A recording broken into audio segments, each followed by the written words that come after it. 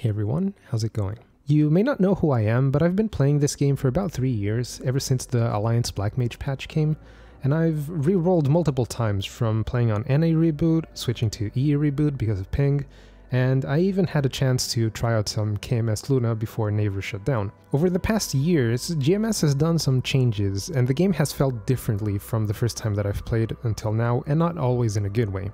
I feel the need to make a long-winded video about this subject, so sit down, grab some popcorn, buckle up, because this is going to be a long one. If you want to skip certain subjects, you can look at the timestamps in the video or look them down in the description. Now, let's start off with gearing. I was going to make a whole spreadsheet to compare exactly the gear difference, but it's very hard to perceive. So instead, here's the side-by-side -side comparison as I talk. Feel free to pause at any moment if you need to.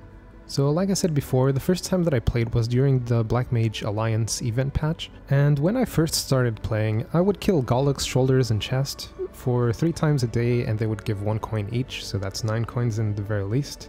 And in less than a month, I had my first ring or two. I don't remember exactly how long it took. By the time that I started upgrading gear, I had all the accessories, plus some event ones, that I could ever need for meso and drop gear, as well as damage gear, and I started working towards one-shotting mobs, and at around 215 and definitely before 225 and a weak legion of under 2k and barely a full set of links, I was able to one-shot. Now, I'm not really one to buy power items from events, I think there's value in buying cosmetics that might be exclusive to that event or hard to come by in the future, and I never really got that much power off of them, except maybe the event rings. When re-rolling into EU in search of better ping, I instead focused on Legion. I worked my way towards 5.5k before the compensation rolled out and skewed my goal of getting to 6k Legion. And instead, I started to work on uh, main, blazing through the levels of 200 to 210, the point where I wanted to start investing into gear, I had several problems. I couldn't do Princess No questline for the treasure set because it's no longer a thing, and I was too weak to kill her. I couldn't kill high enough Gollux or farm shoulders and chest to get coins, and there were no event rings at the time. So instead I had to do something that I would never expect to have to do in a video game. I went back to older, weaker content from when I first played the game. Here's looking at you, Noble Ifia's ring, so that I could get some gear. I got Ranmaru for shoulders, I got CHT for accessories, and so on. I will say that as a returning player, this feels awful. It felt like ending a relationship, finding someone new, having a better time, but they don't really put that much effort into the relationship, and you're the one having to pick up all the slack. And the worst part is, that previous relationship is right there waiting for you with open arms, but you can't really deal with their constant issues. All of the ping issues, server stability, everything like that. After all of this, I kept working on gear and blazing through levels, constantly trying to get more meso and gear so that I could maybe almost one-shot, sort of. Finally starting to one-shot past 235, but still constantly needing to chase that next upgrade whenever I had to go into a new map. And all of this is considering that I have a compensation issue with Arcane Bow. Now, I know what you're thinking, but Masta, you said yourself that you blazed through the levels. The game is easier. And yes, I did. Yes, leveling was way faster. But you know what I had less of? Fun. Constantly having to chase that damage to keep up with the demands of reaching higher level areas, struggling with mobs just not dying, it's just not fun. And if you think about it, whenever you go into a new map and you struggle to one-shot there, your rates are going to suffer. So instead of things being faster because you're reaching higher levels, things slow down. And you kind of want to go back and stay at lower levels just so you can keep having good rates. Now with all of that said, here are the two major differences between my two characters. One is 21k stat and one is 31k stat. One of them has totems which will eventually come back, one of them has a badge which will not, and one of them has a heart which I could have gotten on the other character, but I've never really bothered to. But again, it's something that will eventually come back. On top of all of this, there's the Gollux set difference.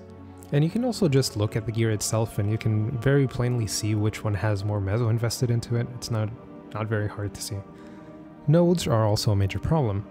They've increased the amount of droplets with the reduction of EXP, but they've yet to increase neither the meso nor the node acquisition rate along with them. For comparison, my bishop has almost maxed benediction, almost maxed boost nodes, and I even invested some into the fire poison and iced lightning. Hell, looking back on it now, Chain Lightning was one-shotting at level 233 and barely level 20 nodes, and Paralyze was one-shotting with level 30 nodes before that. This is the point where I went back into my script and changed the levels in my previous segment. Meanwhile, my Wind Archer maxes boost nodes with 3 nodes and barely any 5th job skills over 5. Leveling might be easier, but that's the only thing that is so far. Which brings me to my last point, which is what sparked this whole video to begin with. Cubes and flames. What a shit show last patch was, right?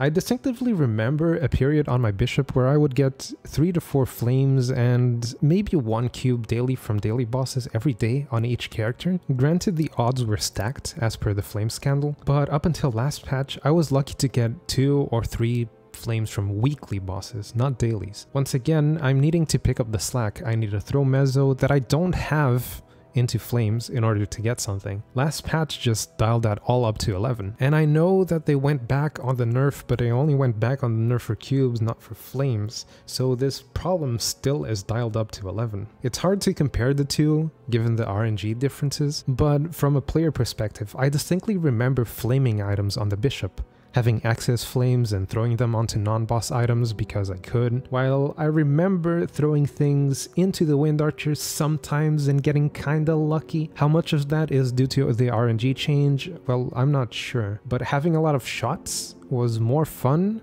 than throwing one or two and hoping for the best. Now, this is as far as my script goes. From here on out, I'm going to completely ramble, so if you don't like that, Thank you for watching and I hope to see you next time, but I am going to keep ripping at this. So I think from the last patch with their better maple and alleviating the acquisition of certain items and only making them harder, it's very easy and clear to see that Nexon either doesn't understand their own game or they don't really care. In both cases, reverting back something that was supposed to make the game better, that made the game worse, and not even giving the full thing to players is horrible. I don't understand how people are okay with it right now.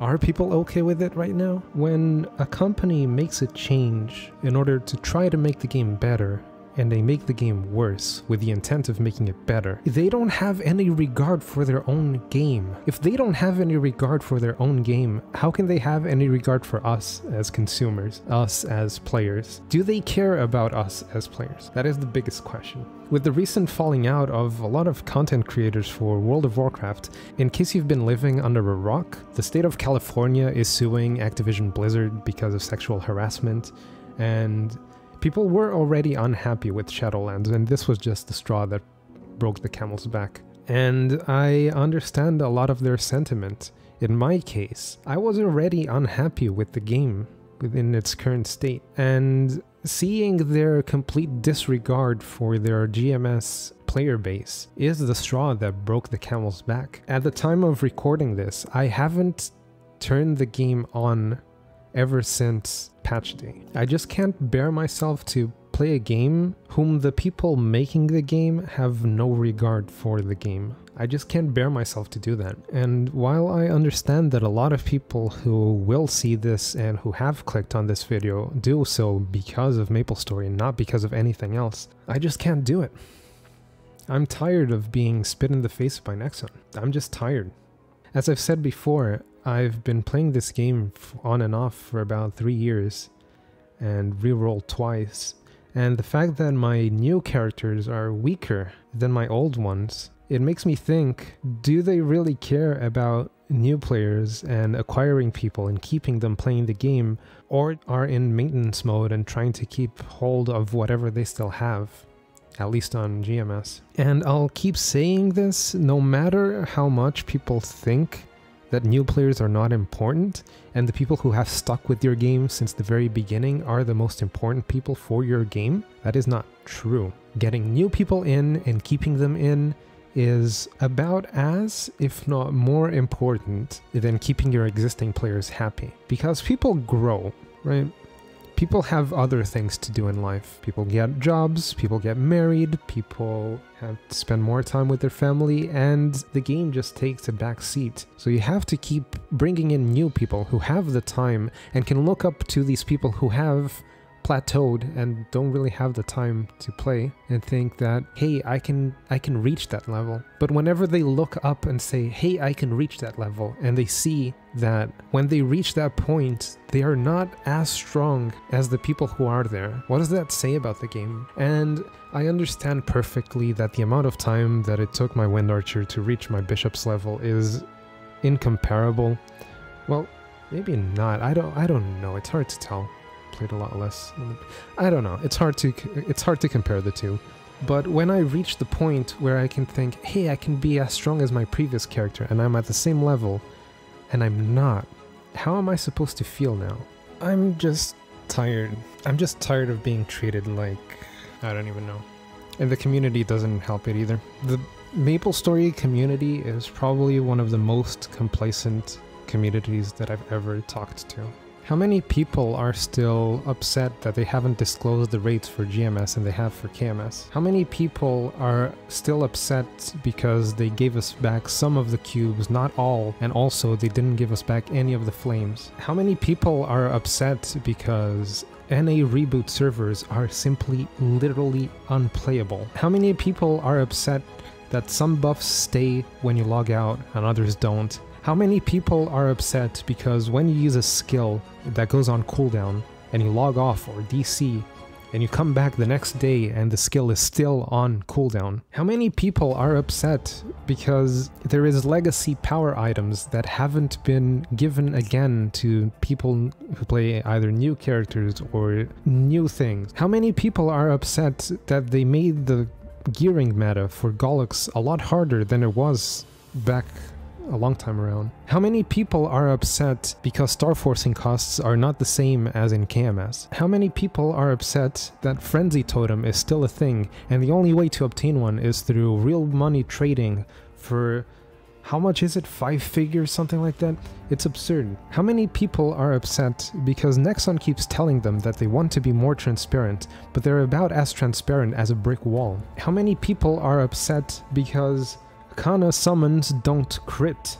They're the only class with summons that doesn't crit, even Jet crits. How many people are upset that if you use a vacuum skill that doesn't pull a mob onto the exact position of a platform, you get DC'd? How many people are upset because it took them a year to come up with a DMT solution and it's this abomination that they came with this time? How many people are upset that they don't disclose these kind of events ahead of time so that people can prepare and not be uh, constantly in the fear of missing out. How many people are upset because KMS gets Spelltrace Fever every Sunday and GMS gets it once per major event? How many people are upset that Kanna is single-handedly the best class in the game and there's no competition? How many people are upset that vac pets are an absurdly pay-to-win feature? How many people are upset that a vac pet that only works for one character, or at least the group of characters in which you got it, costs as much as, if not more, than a pay to play subscription for a AAA game or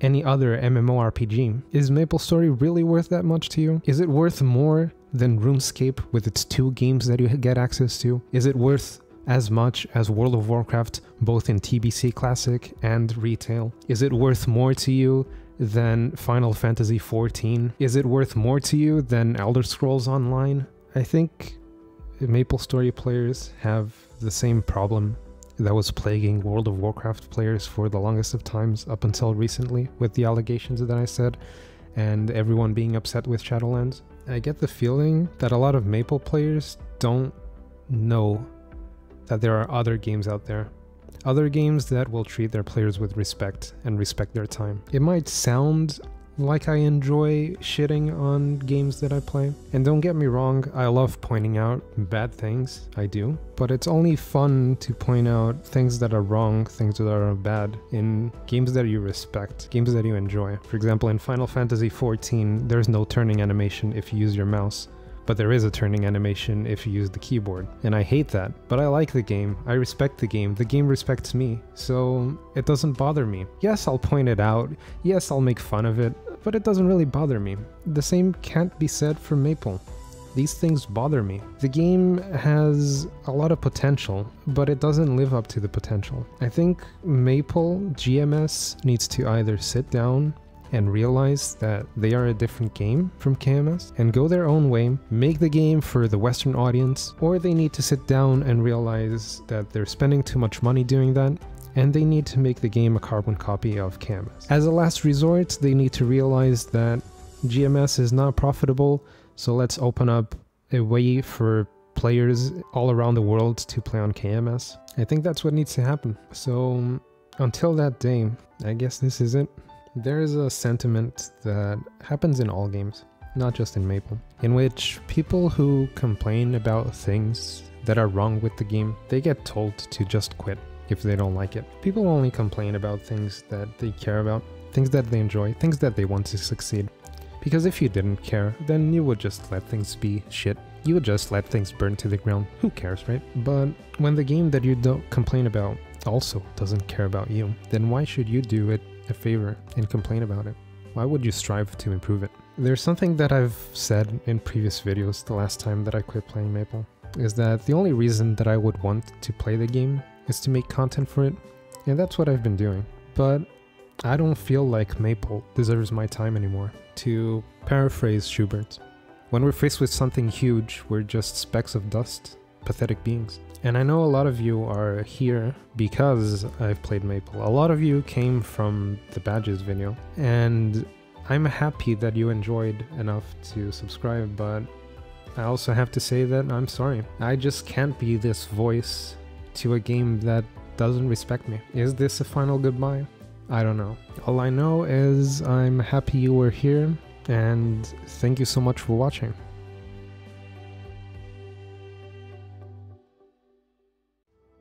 Yeah.